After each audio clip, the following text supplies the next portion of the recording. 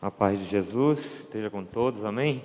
Vamos abrir a palavra de Deus, primeiro livro de Samuel, o 16, e eu vou ver, ler o versículo 7, tá? Primeiro livro de Samuel, capítulo 16, e o versículo 7, que diz assim: Porém o Senhor disse a Samuel: Não atentes para a sua aparência, nem para a grandeza da sua estatura porque eu tenho rejeitado. Porque o Senhor não vê como vê o homem, pois o homem vê o que está diante dos olhos, porém o Senhor olha para o coração. Senhor Deus, vamos pregar a tua palavra mais uma vez e depois outras vezes, mas agora é um momento que não volta mais, é como uma água que corre debaixo de uma ponte que nunca volta. Cada momento, cada exposição da tua palavra é um momento único. Então, nos ajuda para que esse momento seja um momento importante, de fato, não apenas para cumprir um rito, mas que seja o Senhor nos dando o alimento que a gente precisa para essa hora, para a gente usar na nossa vida nos próximos dias, nos períodos em que o Senhor entender que essa palavra poderá frutificar na nossa vida. Nos abençoe nesse mistério, em nome de Jesus. Amém. Podem sentar. Vamos então é, fazer uma exposição da palavra de Deus com esse tema, os escolhidos do Senhor, baseado aqui no primeiro livro de Samuel, é, ali do capítulo 8 até o 16, esses oito capítulos de primeiro livro de Samuel, vai, vai fundir os dois primeiros reis de Israel, né? Saul primeiro e Davi o segundo rei. E eles têm algumas semelhanças, não muito, mas tem bastante diferença, esses dois reis. Né? É, na verdade, a gente encontra, assim, como mais proeminente em termos de diferença entre ambos, apenas umas três. Tem mais, mas relevantes mesmo, que a gente conseguiu elencar para introduzir esse sermão, três. Duas são, podemos dizer que são pessoais, diferenças, e uma diferença histórica. A primeira, por exemplo, é, é o nome deles, né? A, a, que a gente pode dizer que há uma certa semelhança. A palavra Davi quer dizer é, amado por Deus. Né? E a palavra Saul quer dizer pedido a Deus. Né?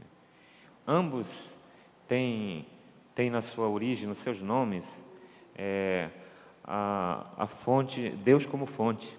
Né? Ambos têm nos seus nomes a ligação com Deus. Tá? Você lê primeiro o livro de Samuel, fica claro que a família deles é uma família de Deus, tanto a família de Saul como a família de Davi. Os pais deles são pessoas respeitadas, são pessoas que adoram a Deus, que vão aos altares fazer oferendas a Deus e a sua família teme a Deus. É por isso que esses dois homens são chamados, porque eles têm origem é, espiritual com força suficiente para Deus é, confiar a eles é, tamanha responsabilidade. Né? Então, nesse sentido, como naquele tempo o nome falava muito sobre a história da pessoa, a gente pode dizer que havia essa semelhança por cada fonte que é Deus. O, a outra semelhança pessoal é que é bem pessoal mesmo. Né? Diz que eles eram muito bonitos, esses dois homens. É, de Davi, a Bíblia diz que era ruivo, para quem gosta de ruivo, acho que Davi era ruivo. Né? É, e a Bíblia diz ainda que ele tinha olhos muito bonitos. Os meninos olhavam assim para Davi, no olho do Davi, é complicado olhar para o olho do, do menino. Né? E a Bíblia, a Bíblia fala é, que ele era formoso, ou seja, ele era um, um, um rapaz bonito. Né? De Saul, vai na mesma direção. Né? Diz, diz, diz sobre Saul que ele era um cara forte, deveria ter um corpo que, que era visível, eh, se destacava pelo, pela, pelo, pelo design do seu corpo, os músculos. Né? Diz que ele era forte e, e diz que ele era muito belo. De Davi diz que era formoso, mas de Saul diz que era muito bonito. Então, ele, ele chamava muito mais atenção do que Davi. Davi era um cara bonito, mas Saul muito mais. Né? Muito bonito. E a Bíblia chega a dizer que ele se sobressaía em beleza estética a todos os homens de Israel. Então nós tínhamos ali em Saul, com certeza, se fosse hoje, ele seria capa de revista aí sobre homem bonito, né? Mas as, as comparações pessoais param por aqui. Né? A, a comparação, a semelhança histórica é que ambos reinaram 40 anos. Foram reis, mandato de 40 anos. Né? E também ambos foram ungidos por Samuel. Né? Historicamente, você vai encontrar essas duas semelhanças, e aí, de fato, qualquer outra semelhança não tem tanto significado, para por aí mesmo. Agora, as diferenças são muito grandes. A partir daqui, esse capítulo de 8 a 16 de 1 Samuel vai narrar diferenças absurdas. E nós vamos tentar dar uma ênfase nessas diferenças para que a gente possa utilizá-las para a nossa vida. Né? Acho que isso que, que vale aqui nessa pregação de hoje. Né? Não a beleza estética de Saul e nem de Davi, mas exatamente aquilo que eles foram como seres humanos, como pessoas, independente daquilo que a Bíblia fala sobre os dotes de cada um deles, é, fisicamente falando. Né? Bom, é, eles, vamos começar dizendo assim: eles tomaram caminhos diferentes. Família crente, reis de Israel, bênção de Deus, mas os dois tomaram histórias diferentes. É, fizeram coisas bem diferentes, é, viveram de forma bem diferente e colheram resultados muito diferentes e morreram de forma diferente. Exatamente porque pouca semelhança e muita diferença havia entre esses dois é, personagens de destaque do Antigo Testamento. Sobretudo Davi, que vai se tornar muito mais importante do que Saul, né? Então vamos tentar dar uma, uma olhada nessa diferença para a gente aprender com eles. Bom, primeiro, Davi foi escolhido por Deus. Saul foi escolhido por quem? Por homens. Isso aí não é pouca coisa, irmãos. Está aí um negócio para a gente não brincar. Quando a gente se rende a Cristo, entra na igreja, começa a participar do reino, entender das coisas, como funcionam. E aí, o cuidado para a gente não é, caminhar para posições de alguma ocupação espiritual, sinceramente, que sem sondar, sem orar, sem ter certeza que, que é Deus que está nos colocando naquela função, naquele lugar. Porque a gente vai mexer com coisas sagradas.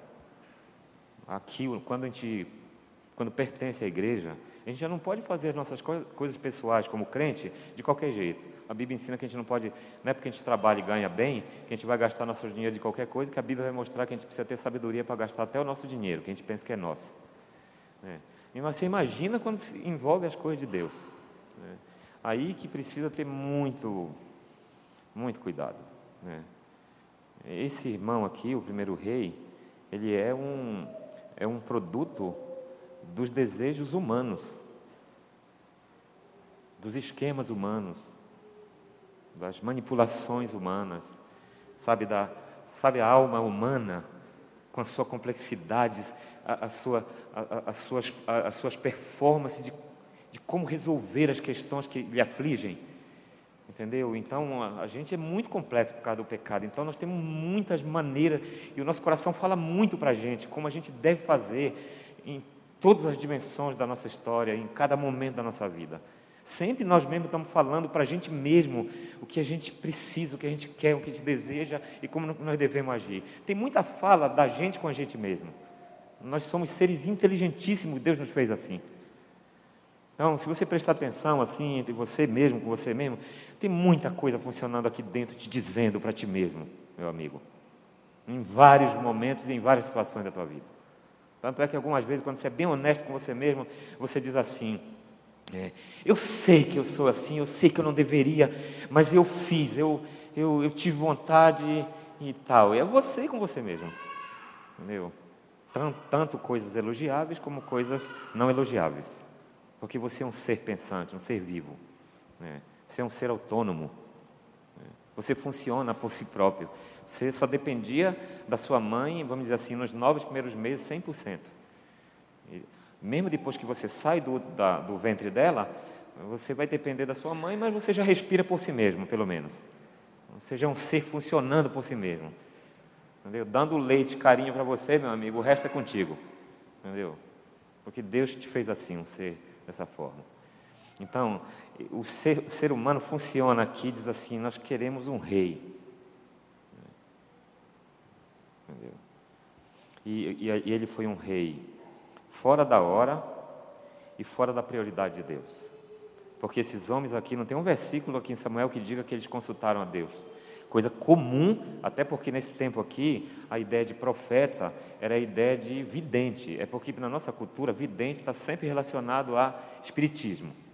Então, toda vez que hoje nós aqui, no 2000 e pouco, quando a gente fala, ah, vidente para nós já é alguma coisa do demônio. Mas aqui não, aqui o profeta era conhecido como vidente, porque o vidente é aquele que vê, aquele que enxerga. Né? Então, era comum nessa cultura, era a coisa mais normal, pouca coisa se fazia sem consultar antes a Deus. O própria história de Saul prova isso, porque ele vai se encontrar com Samuel sem ele imaginar, porque o pai dele perdeu algum, alguns burros, né, os animais de carga, e procurou e não achou. E, e aí pediu para ele, o filho, Saul, com um criado, irem procurar. Eles passaram dois, três dias e não acharam. E acabou a comida, só tinha um, restinho lá. E aí o, o servo de Saul sabia que numa cidade próxima onde eles estavam, já tentando voltar para casa, é, tinha um vidente, e esse vidente era Samuel. E essa informação o, o, o, o servo de Saul, ajudante de Saul, tinha. E aí convenceu Saul a ficar. E é ali que eles encontram com Samuel, e é ali que Deus revela para Samuel que, já que o povo queria insistia, que seria. E acontece todo um processo, o vidente enxerga várias coisas, e essas coisas todas que ele enxerga, que ele fala para Saul, acontecem todas, provando que Deus tinha decidido aceitar a voz do povo para ensinar esse povo, porque era a única forma do povo entender um aprendizado histórico que ficaria para sempre no, no DNA do povo de Israel, de que é erro letal um povo insistir em tomar decisões cruciais sem a direção de Deus. É muito sério isso. E Saul então foi foi pedido porque o povo, gente, o que que levou o, o povo a fun funcionar dessa forma, querer um rei, sendo que quando você lê antes na Bíblia desse episódio, Deus protegeu esse povo o tempo inteiro. Deus agia de forma espetacular. É claro que Israel, nesse tempo, não tem ainda, por não ter um rei, ele não tem um exército, não tem aquele comando, não tem aquele staff visível que mete medo em todo mundo. E aí Israel via isso nos outros e ficava querendo, querendo, querendo esse negócio grandioso. Sabe, aquele staff do presidente da república, Aquele, aquele cuidado todo com a família do cara, não pode chegar perto, é as melhores comidas, as melhores coisas, e o povo se sente feliz quando vê um, um presidente que de fato ele sente o pulso, pulso firme. Israel queria isso. Israel desejou isso. Né? E, e aí a Bíblia explica, Deus explica aquilo que o homem não está entendendo. Deus chega para Samuel, Samuel já tinha lutado com ele, não é assim, Deus está dirigindo e lutava com Deus. Aí Deus disse assim: Samuel, vem cá. É o seguinte, ó, para te não ficar estressado, quem sabe adoecer, deixa eu te contar. Ó. Eles não estão rejeitando a ti, Samuel. O problema não é tu, Samuel. Deixa eu te contar logo, que aí, aí tu sofre menos. A rejeição deles é comigo. Eu conheço o coração deles. Eu conheço os pais deles desde lá, desde lá do Egito. Eu amo esse povo e vou com eles até o fim porque eu sou fiel mas eu conheço o DNA deles. Eles não me querem mais. Você vai perder seu tempo e você não vai convencê-los. Eles querem o rei. Então, o homem é esse daí, ó. Esse rapaz está procurando os animais perdidos do pai dele, esse bonitão aí, ó. E, e aí, a diferença dele, por exemplo, para Davi, é que esse o povo quis. Davi, quem quis? Deus. Deus quis. É desejo de Deus, o perfeito, o sábio, o amoroso, o bondoso, o misericordioso, que sabe tudo sobre nós e tem poder e amor para cuidar de nós até o último minuto da nossa vida. É Ele que quis Davi. Mas Saul não, gente. Saul é um desejo do povo. É o povo que quer. E por que, que o povo quer? Deus explica. Porque o povo não quer mais Deus. O povo quer homens. Isso, você pega ali no capítulo 8, se você ler o capítulo inteiro, você vai ver toda essa narrativa que eu estou falando para os irmãos. Deus disse assim: atende a voz deles, Samuel, atende a voz deles. Faz do jeito que estão pedindo, Samuel, ó, faz do jeito, Samuel, que estão pedindo. Já que nós vamos atender eles, atende do jeito, 100%, do jeito que eles pediram, a receitinha completa. Atende. Não deixa nada, olha, escolhe esse daqui, esse daqui vai atender perfeitamente. Eu conheço o coração desse daí. Vai ser do jeito, eles não queriam, eles já me disseram, disseram para ti, eu estou ouvindo tudo, que eles querem desse jeito, assim, assim, eles querem a pompa, eles querem isso e aquilo. Eu conheço esse rapaz aqui, desde a meninice dele. Ele vai atender essa demanda do povo. Atende, atende ele. Atende a voz do povo. Mas não, não faz, não comete erro, Samuel, de achar que a voz do povo é a voz de Deus, que esse é um negócio que vai acontecer lá dois mil e poucos brasileiros que vão crer nisso. Tá? Mas tu não, Samuel. Fala que é desejo deles e não meu.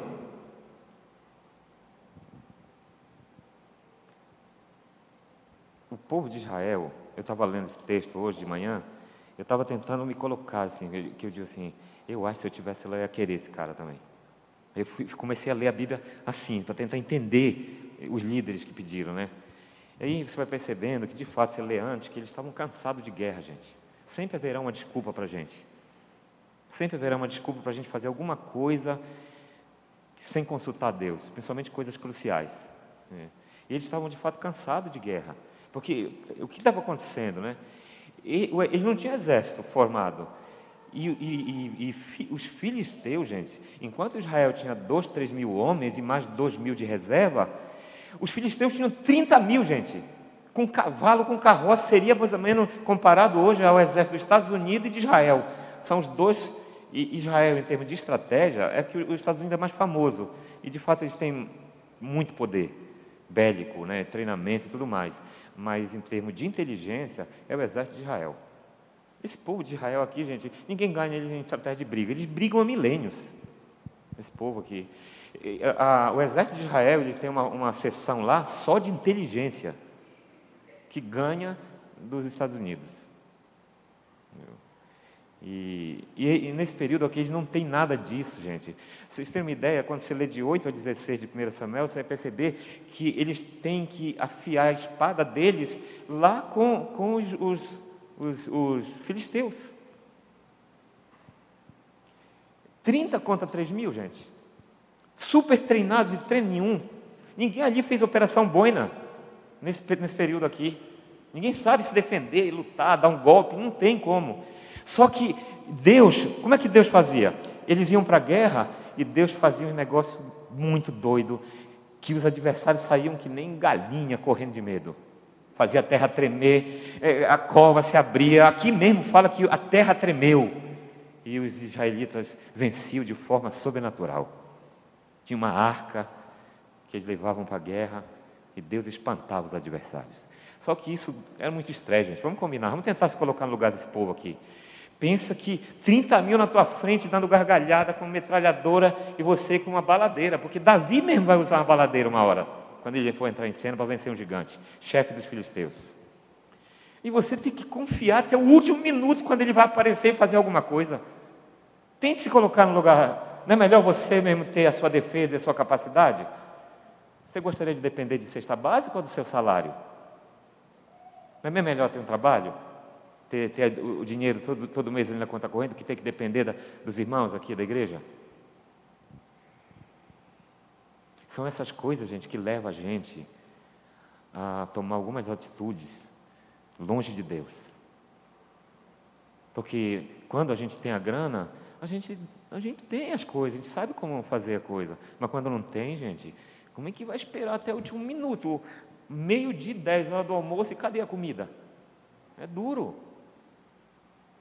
É duro. Muita gente começa a ser assaltante assim. Muitos jovens entregam o seu primeiro quilo de cocaína assim. Vai ficar esperando aí um, um salário mínimo de 900 reais? Vocês sabiam que mais de 70%, cerca de 70% dos prisioneiros do Brasil têm origem evangélica? Grande parte deles eram filhos de pastores. A nossa igreja tem várias igrejas dentro da cadeia. Quem não participou ainda e quiser participar, fala com a irmã Solange, ela faz a sua inscrição, você vai lá e você vai conversar com os prisioneiros.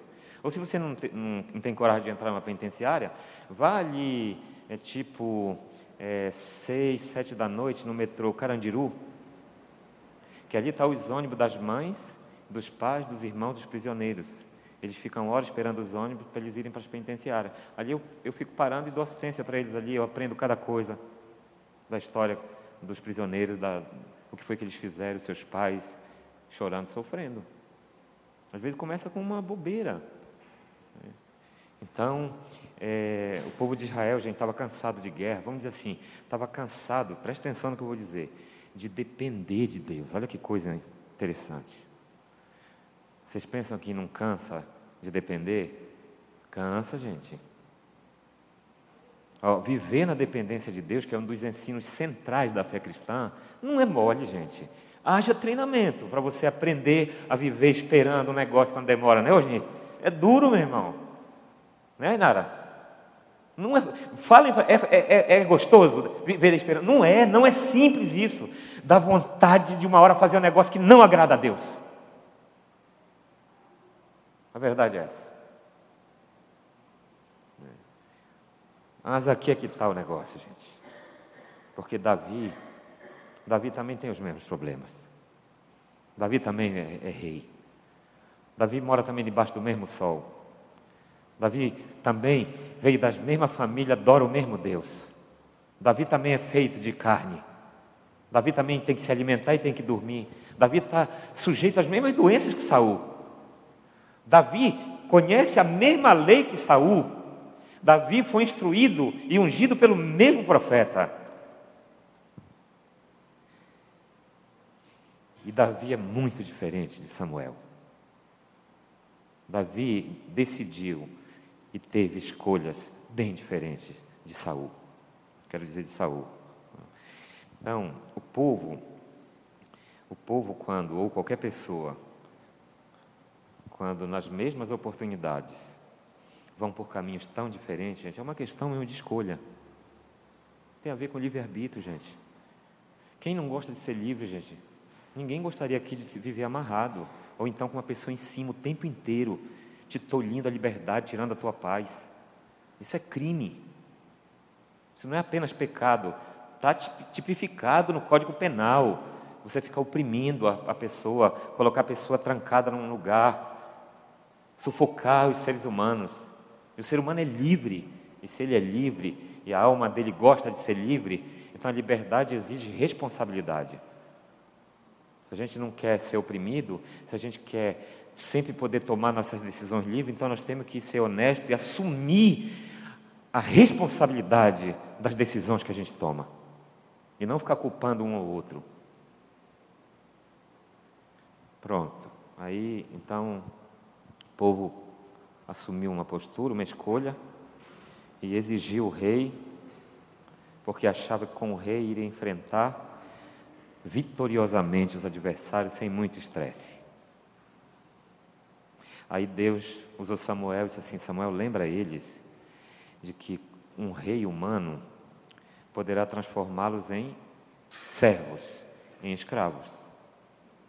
Poderá explorá-los. E lá está dito assim: ó, poderá usar as habilidades de um ferreiro para fazer apenas a, as máquinas de guerra exclusivamente para o rei, poderá tomar o terreno do dono da vinha para o deleite dos seus generais.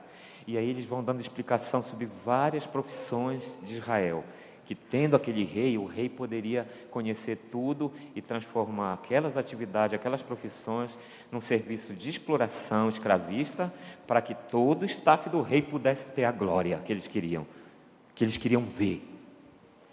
Deus, em outras palavras, está dizendo: quem vai pagar a conta? Fala para ele, Samuel, que é muito caro manter aquele poder todo. Fala que eu dirigindo eles, eles têm liberdade, eu abençoo a todos. Mas se eles quiserem um rei, aquilo é muito caro para manter aquele negócio ali. Ele vai cobrar impostos pesados. Aí Samuel falou tudo. Pode ler, de 8 a 16 de 1 Samuel, irmãos. Está tudo explicado, Deus avisando tudo. Mas os israelitas quiseram um rei a quem a gente pudesse ver. Eles sabiam que Deus é rei, eu acho isso importante. Mas ele é um rei que não se vê. Isso é interessante, gente, eu acho. Ó. Eles sabiam que Deus existe, eles não eram anti-Deus, eles não eram ateus. Pelo contrário, eles adoravam a Deus, eles cantavam, eles iam nos lugares sagrados. Esse pessoal que pediu o rei aqui, eles, eles praticavam a adoração. Eles estavam lá matando os cordeiros, os bodes, eles liam a lei, mas eles querem ver Deus. E Deus não pode ser visto por homens, meus irmãos. Deus não é homem para ser visto. Um dia nós vamos vê-lo, amém? Para isso seremos transformados num corpo glorioso. Mas agora não. Mas eles querem ver. Eles querem ser como as outras nações. Eles não querem ser diferentes. Deus os escolheu para serem diferentes, mas eles querem ser iguais. Deus os separou para serem diferentes do mundo, eles querem ser iguais ao mundo. Que coisa!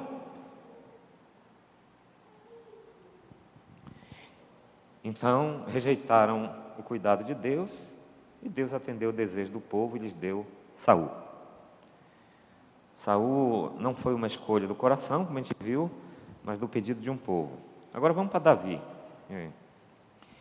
Lá em 1 Samuel, no capítulo 16, aí tem toda a história. Diz assim, olha, Samuel, vai em tal lugar, tem uma família assim assim de Jessé, vai lá. Ah, e tem um, um, rapaz lá, quando tu chegar lá eu vou te mostrar quem ele é. E, e aí ele disse assim, mas eu não posso porque vão saber que, que eu estou ungindo um rei e Saul vai me matar. Aí disse assim: não, fala que você vai adorar, você não está mentindo, você vai adorar mesmo. Você vai fazer o holocausto. E quando tu estiver fazendo o holocausto, fazer a oferta, eu vou te revelar.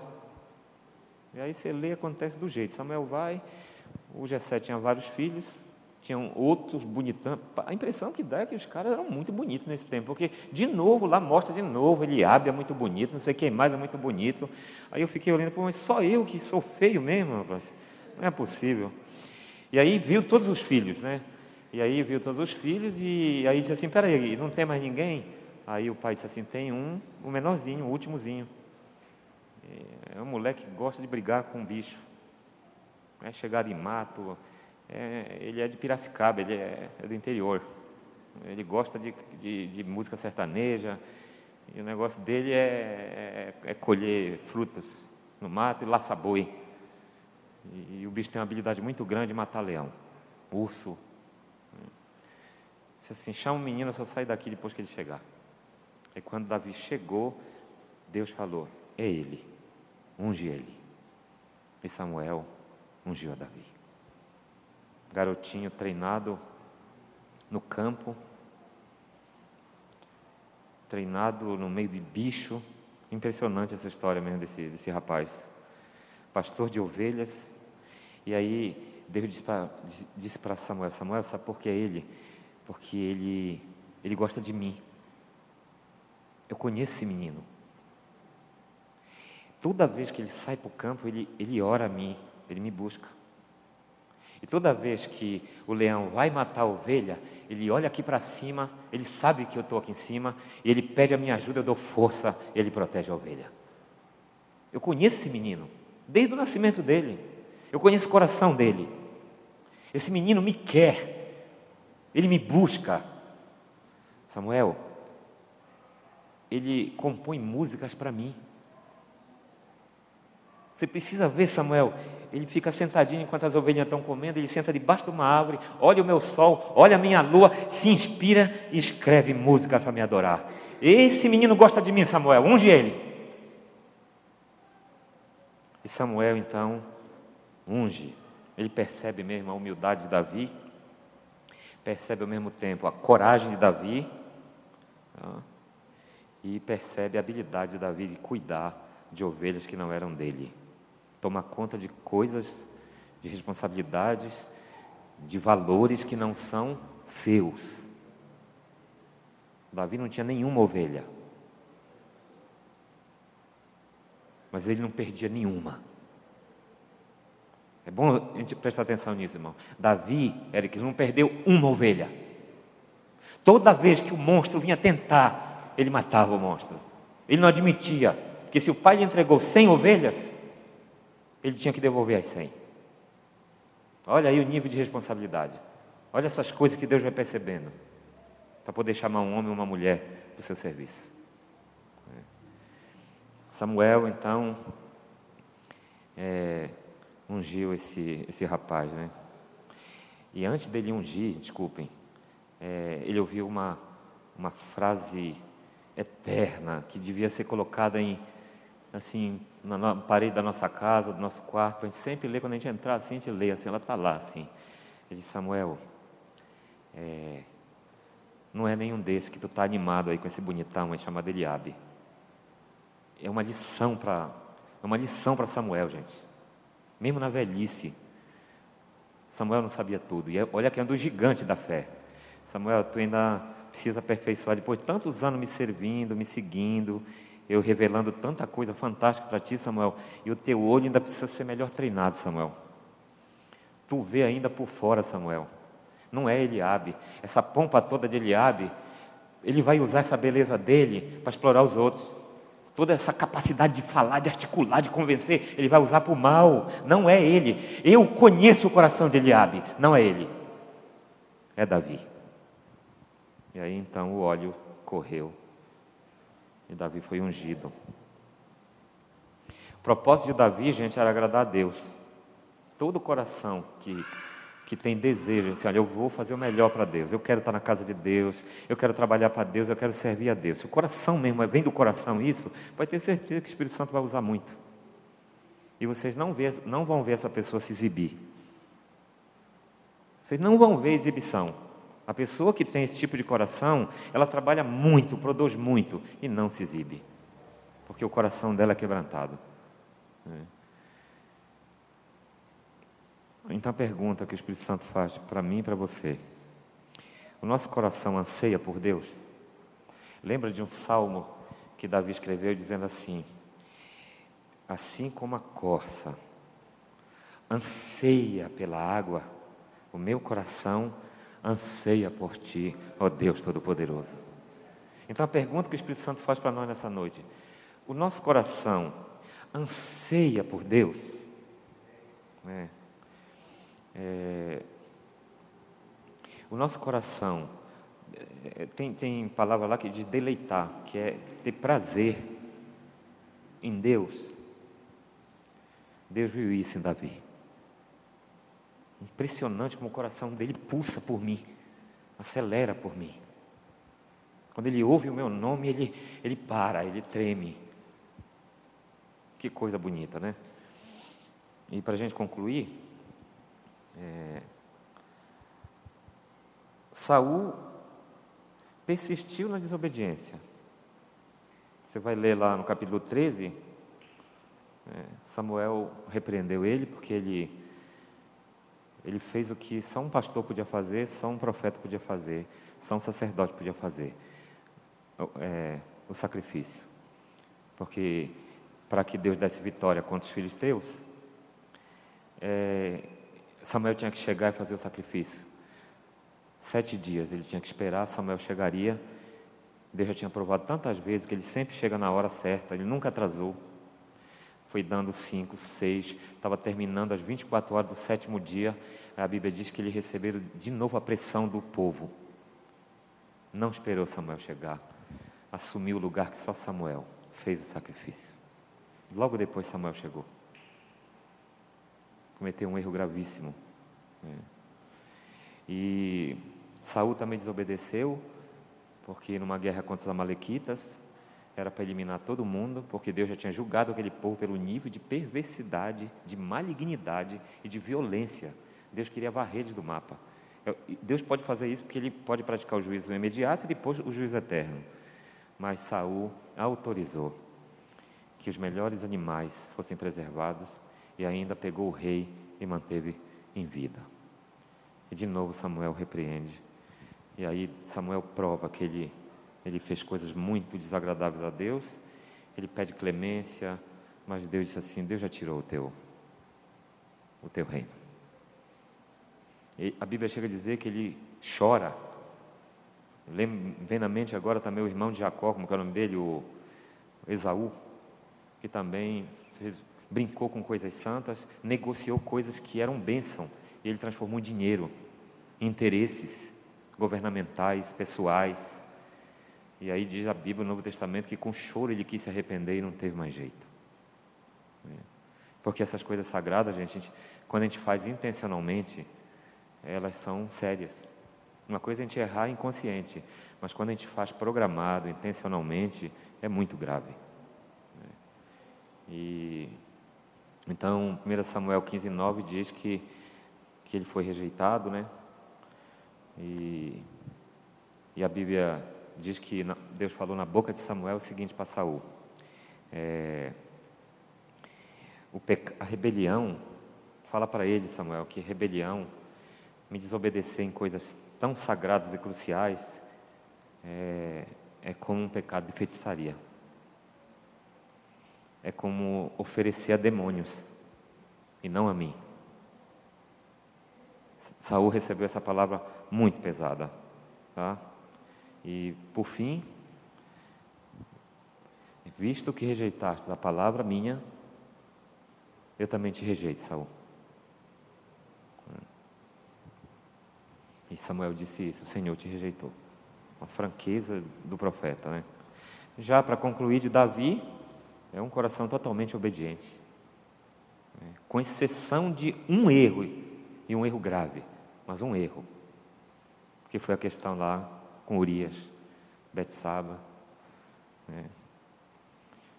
Eu não posso dizer tirando essa parte, porque a Bíblia não tira, né? mas eu diria assim: olha, considerando essa parte, esse erro, como também nós temos os nossos erros, entendeu? É, Davi foi um homem que a Bíblia, não eu, diz, considerado como um homem de um nível de obediência incrível. Tanto que ele, é o coração dele é o modelo na Bíblia. Davi só perde para um tipo de pessoa, irmão, em termos de exemplo de obediência, que são as crianças. Que a Bíblia pega as crianças e enaltece demais. As crianças são consideradas na Bíblia como modelo de entrada no reino, por causa da sua inocência, por causa da pureza do seu coração. Mas depois das crianças, exemplo de coração é Davi. Né? Ele diz que é o, o homem quebrantado de coração. Né? E vocês sabiam que ele é o único pecador, Davi, entre vários exemplos de homens gigantes da fé, como Abraão, como Moisés, como Elias, como mulheres santas, como Sara e tudo mais. Ele é o único ser humano que é citado no final da Bíblia pelo Senhor Jesus. Quando, quando a Bíblia fecha, no último capítulo do Apocalipse, nos últimos versículos ali, não é Abraão que é mencionado, não é Jacó, não é José, não é Moisés, não é Pedro nem Paulo, não é Miguel, não é Gabriel, não, não são os querubins nem os serafins. A Bíblia fecha assim, o Senhor com orgulho incrível. Assim, eu sou a brilhante estrela da manhã. Eu sou da raiz de Davi. E fecha o cano. E fecha a Bíblia. Por quê, gente? Porque Davi é o homem segundo o coração de Deus. Amém? Vamos ficar em pé? Ou seja, o sonho de Saul era agradar os homens. O sonho de Davi era agradar a Deus. E eu tenho certeza que se eu perguntar aqui no final, não é uma pergunta vaidosa e muito menos é, fútil. É uma pergunta cabível e espiritualmente séria. A quem você quer agradar? Aos homens ou a Deus? E o que você responde nesse culto? A Deus. Essa é a melhor decisão. Toda vez que você tiver assim, ó, em aperto, e tiver que tomar uma decisão muito séria que vai definir sua vida, sobre filhos, sobre a tua mulher, sobre o teu marido, de repente uma mudança brusca para toda a família, uma doença muito grave, vai fazer um empréstimo muito volumoso, vai fazer um negócio que envolve, sabe, dinheiro que pode comprometer a família, vai ter que tomar uma decisão sobre um filho que vai mexer com a família. O que, é que a gente deve fazer em primeiro lugar, irmãos? Vamos usar o verbo consultar? Quem nós devemos consultar? Consultar a Deus. Consultar a Deus. Consultar a Deus. Ah, eu estou deixando a banda. Oh, meu irmão. Ah, estou deixando o grupo de louvor. Pelo amor de Deus. Você está deixando como? Você tem esse poder? Quem foi que te colocou aqui? Segundo a Bíblia, quem você era? Onde você estava? Para onde você estava caminhando? Em que direção você ia? Qual seria o teu final? Aí Deus, com imensa graça e misericórdia, te salvou, te trouxe, te inseriu no corpo dele, te deu carga e função, agora eu estou saindo. Porque o diretor foi infeliz numa palavra. Oh meu Deus. Você é salvo por Deus. Deus olhou para você, viu o teu coração, disse assim: eu fazendo umas alterações nesse negócio aí, vai dar, vai dar caldo esse negócio. Eu, e foi lá e te chamou. A Bíblia no Novo Testamento diz que Deus nos ungiu. Diz que nós temos a unção do Espírito Santo de Deus, que habita em nós. Tá? E essa unção, gente, nos faz de fato operar conforme a orientação de Deus. Então fecha o teu olho aí. Se Deus falou contigo, vamos, vamos dar uma reação para Deus sobre esse conteúdo que a gente ouviu. Depois a gente faz as ministrações é, é, que a gente precisa. Senhor Deus, esse tipo de palavra, é, ele, tem, ele tem lugar de forma diferente é, nos corações, porque cada um vive uma situação. Não existe ser humano igual ao outro. As famílias são diferentes estratos sociais diferentes, histórias diferentes, necessidades totalmente diferentes. E essa palavra mostra para nós, meu Deus, que quando o Senhor nos escolhe, é bem diferente do que quando somos escolhidos por pessoas. A igreja é lugar dos escolhidos e nós vimos que é muito diferente, meu Deus, a tua escolha. A tua escolha ela é baseada na visão profunda da alma, do ser, do coração. As nossas são bastante na aparência. Eu ouvi essa tua palavra hoje, ver que Saul, meu Deus, chegou a enlouquecer. A Bíblia diz que ele começou cheio do Espírito Santo. Está lá no texto, meu Deus. Que o Espírito Santo estava com Saul. A mesma Bíblia diz que o Espírito Santo estava com Davi, os dois tinham o Espírito Santo. E aí, conforme a carreira da fé, conforme a sequência dos anos, mostra que Saul foi, foi gostando de desobedecer. Davi teve uma grande desobediência, mas quando o profeta Natan chegou, o coração dele se despedaçou e ele se arrependeu. Há diferença. A Bíblia mostra que o arrependimento de Saul não foi verdadeiro. Os dois erraram.